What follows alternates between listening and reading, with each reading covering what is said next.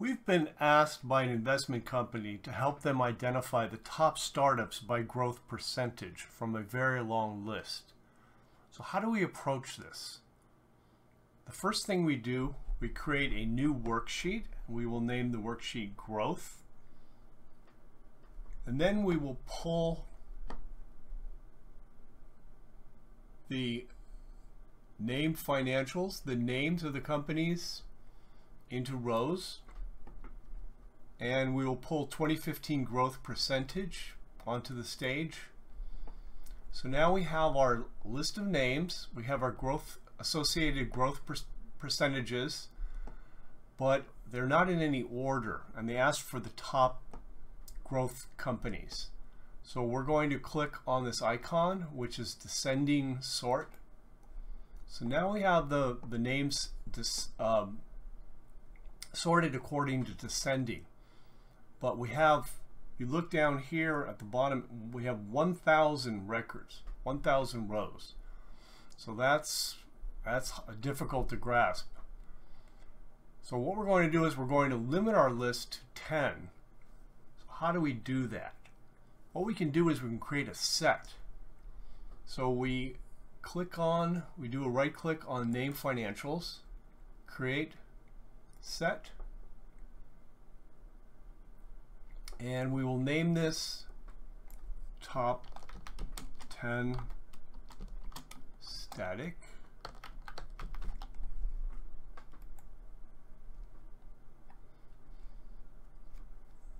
Now we're actually going to select the top 10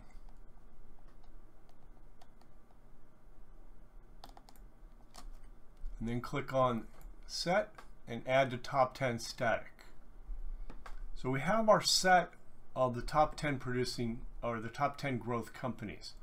We're going to pull this into filters and now it's filtered out all of the names except the top 10.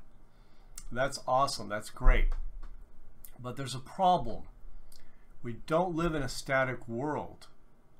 A week from now or a month from now or six months from now this list may have changed and the top 10 growth companies may be different. So we want to make this dynamic. How do we make it dynamic? So what we're going to do is we're going to actually create a dynamic set. And rather than using name, which can be ambiguous, you could have uh, multiple Smith companies and multiple Jones companies. But if we used ID, IDs are unique. We know that. So we're going to right click on ID, create set, and we're going to name this set top 10 dynamic.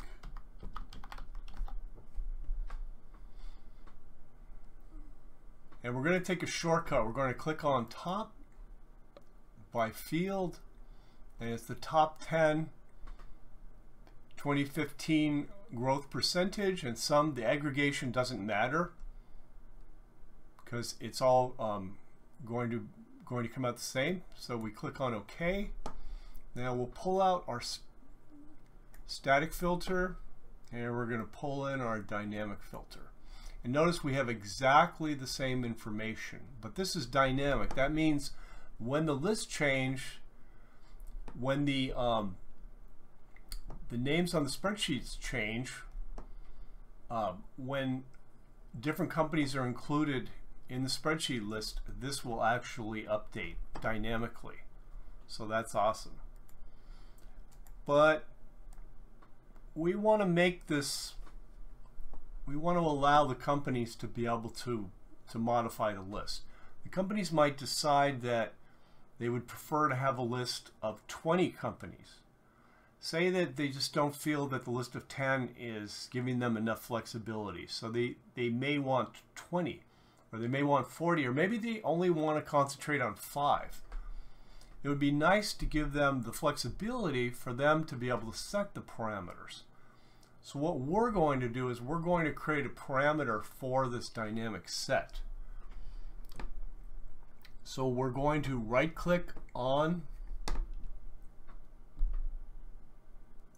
the dynamic set.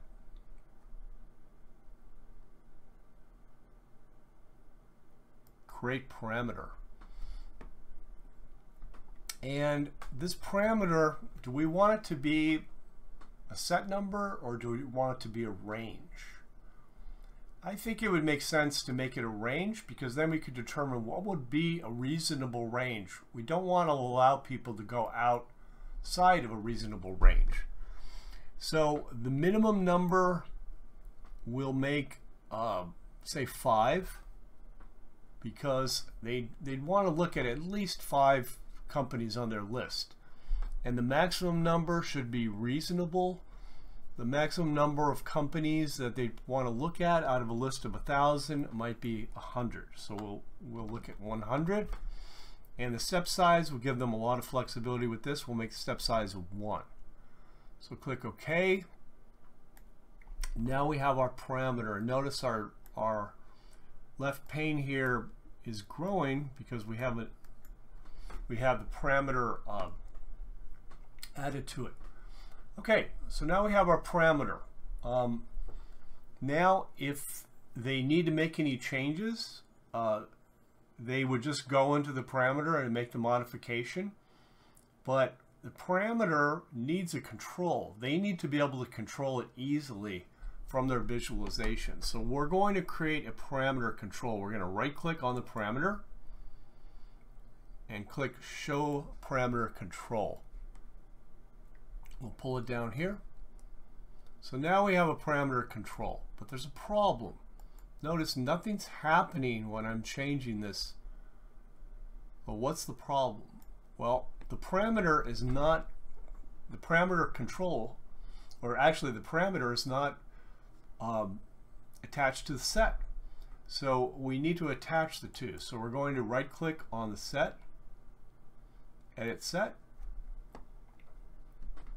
and we're looking at how does it determine the number in the visualization. It's determined here. Here we have a 10. So we click on this down arrow and it says top 10 dynamic parameters on this drop down. So we're going to select that use that instead of the hard-coded 10. Okay, now, okay, we have 5 on our control. Now, as I add numbers, integers to the control, it's adding individuals to the list. So that is fantastic.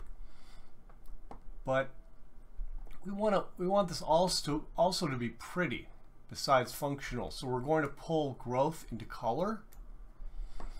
The red numbers are nice, but I'd, I'd rather have filled boxes. So I'm going to click on the drop down for mark, click on squares.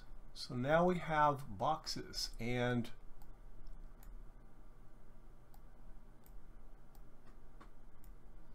I think that's very attractive.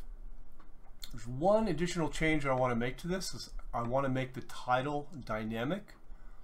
So I'm going to look at our detail list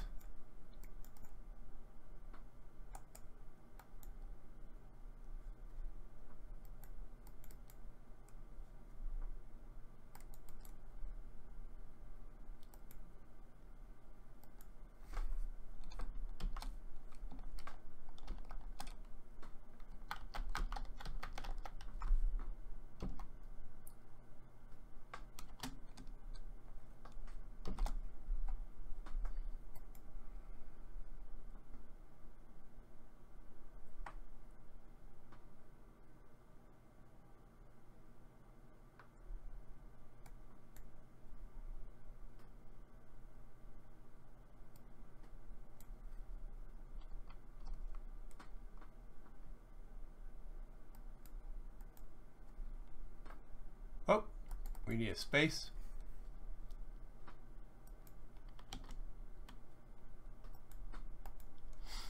And there, now when we change the number within our control, it's actually going to change the number on our title. That's awesome.